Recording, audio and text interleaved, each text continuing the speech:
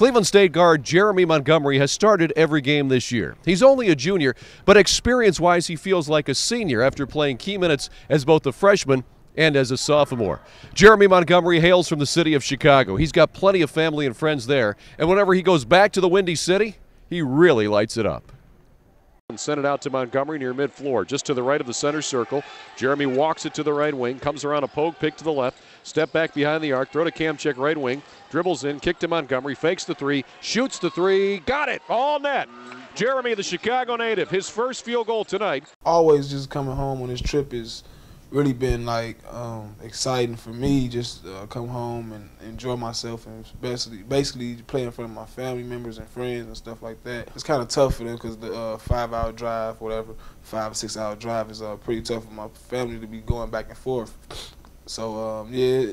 it's pretty tough for them, but they try they try to make uh, most of the games as possible. Just knowing when this road trip come up, um, I, yeah, I pretty I pretty get excited um, and just coming out here just um, like I said, see my people and basically have fun and make sure we get those wins on the road. Out of Montgomery flies ahead again. Vikings with numbers. Montgomery underhanded pass, Pogue to the basket. Layup is good. It's a little different having him here. Uh, the family's definitely excited. Uh, my brother's here today. Uh, of course, you know his son plays with uh, the Washington Wizards. Uh, Jeremy's cousin JaVale McGee, and, and, you know my mom's here. His uh, his grandmother, both his grandmothers from both sides of the family, um, and lots of friends of here are here also.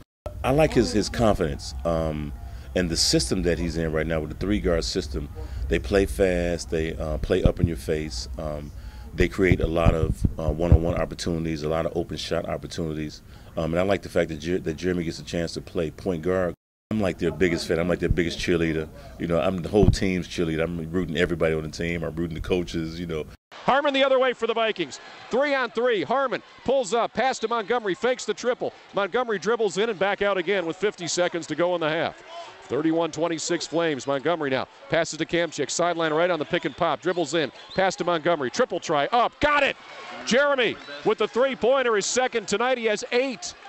The reason I think I left Chicago is um, just to stay focused. You know what I'm saying? And out there in Cleveland is a, is a better option for me. And plus, they like and plus on um, people people wise, we have a um, we have like it's it's amazing just because they relate to our, my family as my family relate to them, like just like little things. So uh, my family really uh, proud of me making this choice coming to Cleveland State. I'm just proud uh, uh of my son's success. I'm I'm definitely proud of his success academically at school.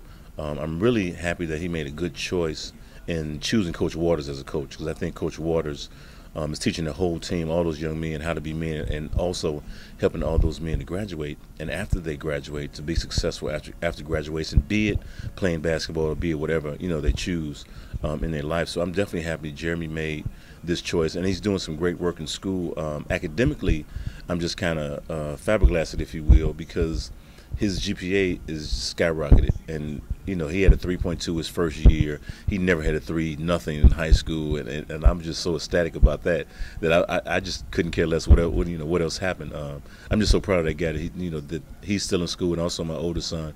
Those guys are in school and they're online to get their degrees. Um, at the end of the day, um, that's all you can ask for as a parent. So I'm definitely happy and excited.